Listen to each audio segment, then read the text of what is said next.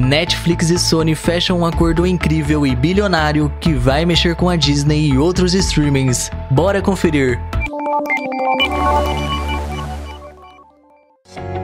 O catálogo da Netflix está prestes a mudar totalmente porque vem aí uma avalanche de novos conteúdos devido ao contrato que a Netflix acabou de fechar com a Sony.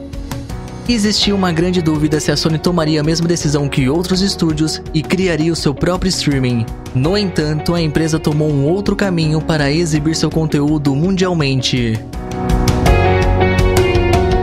Nos últimos anos, a Sony conseguiu grande êxito com seus filmes, e entre eles há um personagem bem famoso da Marvel que muita gente sentiu falta no catálogo do Disney Plus, que é o Homem-Aranha.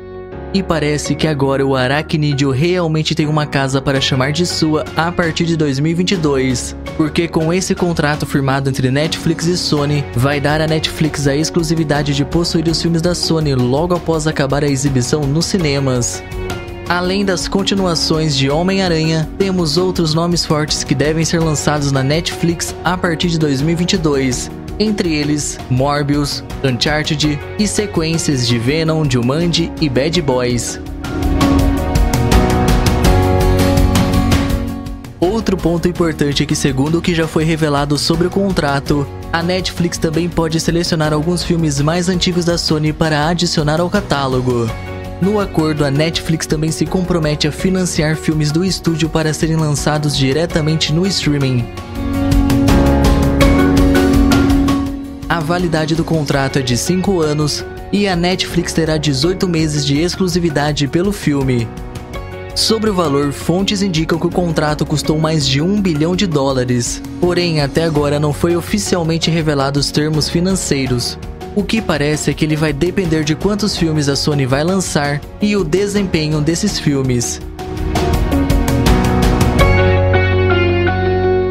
Apesar da parceria com a Netflix, a Sony também vai ter liberdade de fazer negócios com outros streamings caso a Netflix rejeite um filme ou depois de 18 meses não renove os direitos por tal filme.